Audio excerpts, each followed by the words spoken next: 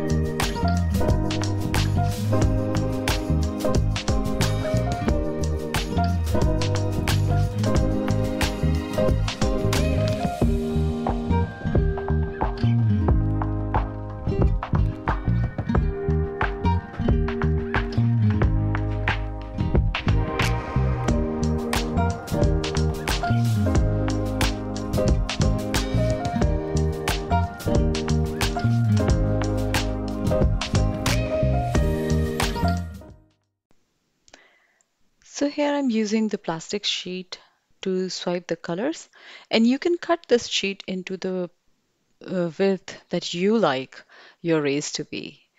Um, so it's pretty simple. But look at this. The moment I'm swiping that um, black over other colors, I'm loving how the cells are coming up. That is so, so beautiful.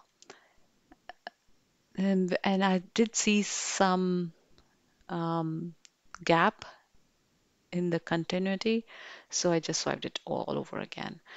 But that is what I like about uh, fluid art or art in general.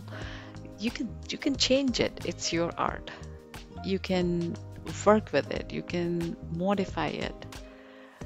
So I just love it. I'm at this time I'm just in awe with all the cells I'm getting. I'm using different width of uh, this plastic sheet mm, but overall it is giving me good good results one thing though I would like to say you can see little hole so I just little uh, I just put my finger on the plastic sheet a little bit so it can glide on it uh, without leaving any air bubbles uh, in the paint uh, so that's what I'm doing right now. Um, overall, it's very easy process um, and give you good results. I hope you like it as well.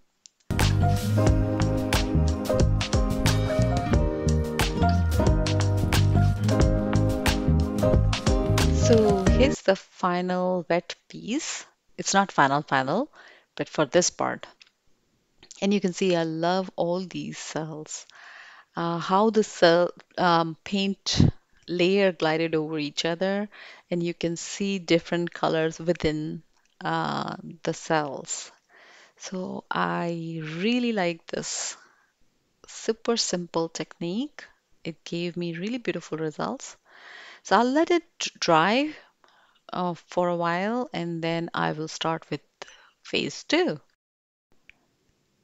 So it's completely dried now.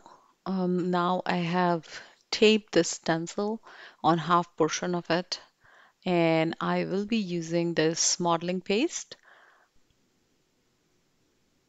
here. This is um, from Artist Loft. Um, so I will be um, gently putting um, art, this modeling paste on top of the stencil. We don't have to put a thick layer, just very thin one.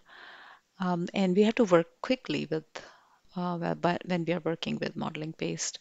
So not too much, just glide it over the stencil and that's it. Once I have all the modeling paste uh, over the stencil, um, I will be using gold paint to cover the modeling paste. Otherwise, modeling paste in itself will dry white. So, but I would like to give it a pop of color. So that's why I'm using this gold. And again, very light, very little um, paint is required, and we have to work quickly. As soon as all the gold and modeling paste covered the stencils, I will have to remove the stencil um, as soon as possible, as quickly as possible. So you will see how it turned out in just a bit.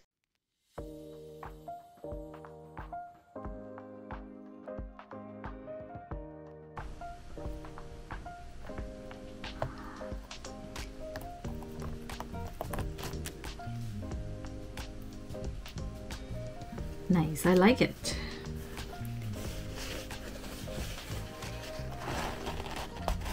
Let's just take care of the excess here.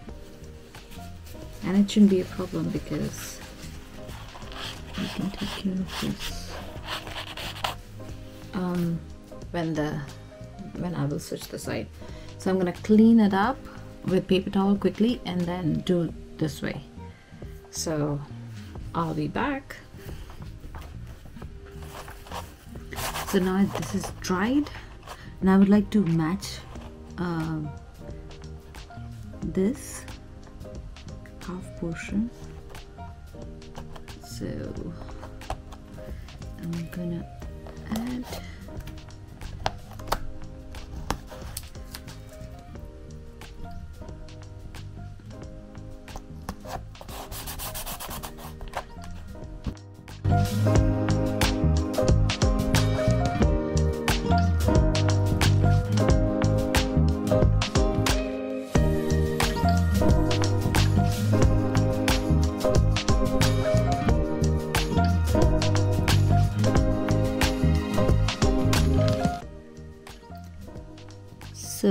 here's the final piece. Um, it's not completely dried on this side which we just did but overall it is uh, quite done. Um, I just have to fix a little bit here. Uh, the modeling paste is showing without the golden color but that's not a big deal. We can fix it. Overall I really like this piece. Um, the rainbow colors with golden stencil. I I think this came out really beautiful. And I don't know the orientation that I would like to keep this whether I would like to keep it horizontal or portrait. I think in both ways it will it should look good. Like this or just like this. Um, but it's a very easy painting right? Swipe pour in sten golden stencil with modeling paste. So I love it. So here's the final piece. It's completely dried now. I think the stencil look really good. And the transition of blue green and yellow and red is also looking good. Um, and all these um, cells I really like this. I think it's perfect for spring. Um, this is the complete view. Let me know what you think. Thank you very much for watching and I'll see you next video. Bye bye.